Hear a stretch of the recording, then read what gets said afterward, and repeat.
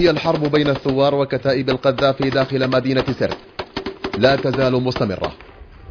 تشتد المواجهات وتحتدم المعركة ولا تزال المدينة عصية على سيطرة كاملة للثوار.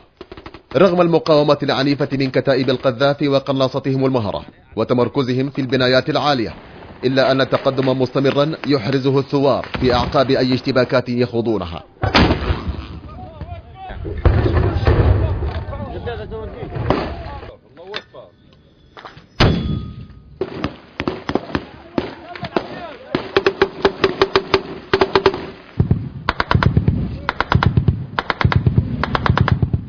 الثوار سيطروا على مبنى جامعة التحدي و700 وحدة سكنية بالمدينة فضلا عن توغلهم داخل حي الجيزة الذي توجد به شعبية الموريتانيين. تم اليوم تحرير منطقة الجيزة البحرية ما يسمى بحي الموريتان وتم الدخول منطقة جامعة التحدي بسرت.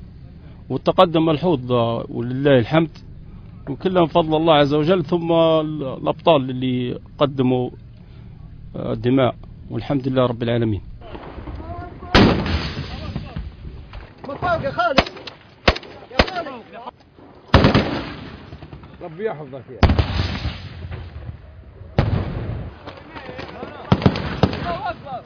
إنها لعبة الحرب إذن. القتال يحتدم والمواجهات تبدو ساخنة بين الثوار وما تبقى من كتائب القذافي داخل سرت. وسط تغطية جوية بقصف طائرات حلف شمال الأطلس الناتو لأهداف داخل المدينة وأجواء مغبرة غطت سماء المعركة.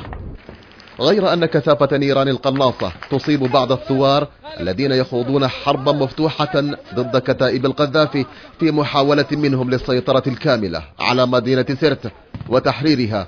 طال أمد الحرب في مدينة سرت ولم يسيطر عليها الثوار بشكل كامل. وإن سالت دماؤهم على أرض المدينة بغزارة.